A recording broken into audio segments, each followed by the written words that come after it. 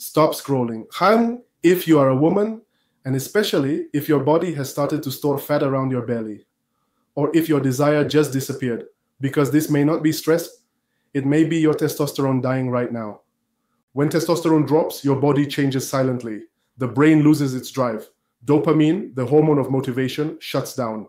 Muscles melt away, and fat starts to grow exactly where you hate it most around your waist. This is not aging, this is hormonal decay.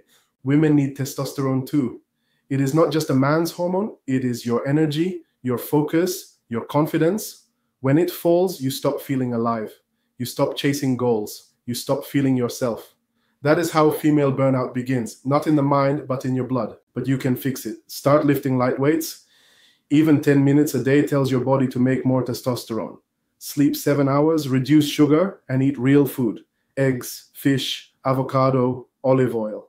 Do this for three weeks, and your energy, your mood, even your skin will change. That is not magic, that is biology finally working for you. So tell me, are you going to scroll again and ignore your hormones? Or take back control of your body? Share this video, hit like, and subscribe, because if you don't, the algorithm will never show me to you again.